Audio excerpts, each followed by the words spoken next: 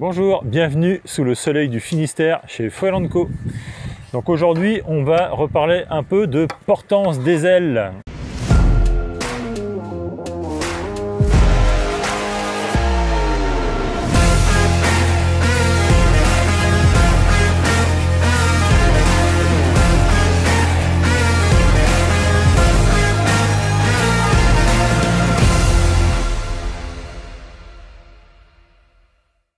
Donc en gros, pour qu'un hydrofoil puisse vous porter euh, en wing, il faut qu'il soit capable de développer une portance qui va être au moins euh, égale ou supérieure à votre poids. Donc votre poids, c'est euh, votre poids, plus le poids de la combinaison, plus le poids de la planche, plus le poids du foil, plus le poids de la wing, moins la substantation de la wing. Bon, en gros, vous prenez votre poids, vous rajoutez 10 kg, et ben, mon foil, il va être obligé de porter ça. Et pour pouvoir porter, mon aile, elle va se devoir se déplacer dans un fluide à une certaine vitesse, à un certain angle, et à partir de ce moment-là, vous allez pouvoir euh, décoller, c'est-à-dire ce qu'on appelle le lift out ou le take-off, euh, et commencer à voler et à accélérer.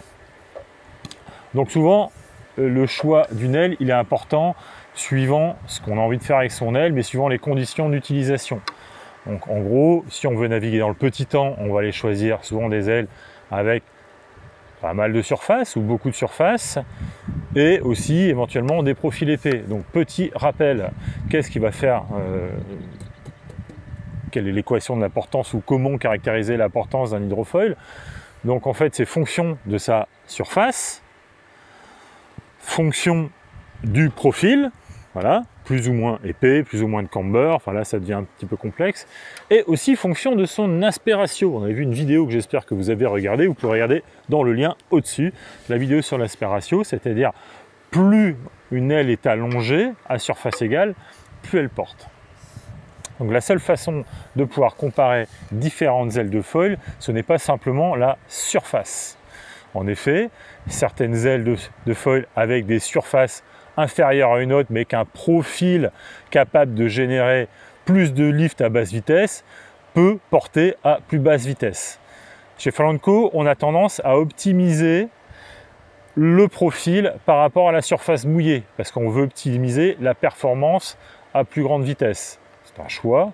Donc, une aile de 1300 cm chez nous peut déployer la même portance qu'une aile de 1800 voire 2000 cm chez un autre fabricant. Donc il ne faut pas ne se baser que par rapport à la surface. Je vais vous montrer un petit exemple. Le revoilà. Une Flyer 1500 et une Carver 1500, donc exactement la même surface des profils différents. Les deux profils sont relativement épais pour les deux ailes, mais l'aspect ratio qui est bien différent. Ces deux ailes ont un comportement qui également est différent. J'arrête pas d'utiliser le mot différent, mais voilà. Mais au final, ces deux ailes, malgré la même surface, celle-ci, la Flyer 1500, va développer beaucoup plus de portance que cette Carver 1500. Moi, je fais plus de 100 kg, une, Flyer 1500 comme ça, euh, je vole avec une vitesse de déplacement horizontale de l'ordre de 4 ou 5 nœuds. C'est vraiment rien du tout, il ne faut pas grand chose. Donc après, ça dépend du style de navigation et de ce qu'on veut faire. Autre exemple, on parle des profils. Là, j'ai un profil très épais et là, j'ai un profil beaucoup plus fin. Entre guillemets, c'est les futurs performeurs 1650 qui vont arriver bientôt à la rentrée. Pas trop droit de les montrer, mais je vous les montre quand même. Donc forcément, ces deux ailes ont aussi des aspects gracieux un petit peu différents, des profils un petit peu différents. Cette dernière, avec un profil très épais, type carver, vous pouvez faire une sorte de holly pour décoller et elle est capable de voler extrêmement basse vitesse. Par contre, cette dernière-là, il faudra amener un petit peu plus de vitesse pour le lift out. Par contre, une fois lancé, profil très fin, très peu de traînée, donc vous allez quand même pouvoir voler à très basse vitesse après. Chose importante dans le choix de la surface d'une aile et de son profil. Il faut quand même savoir que plus une aile est grande, plus elle a de surface mouillée, elle est capable de vous faire voler à très basse vitesse pour un poids constant.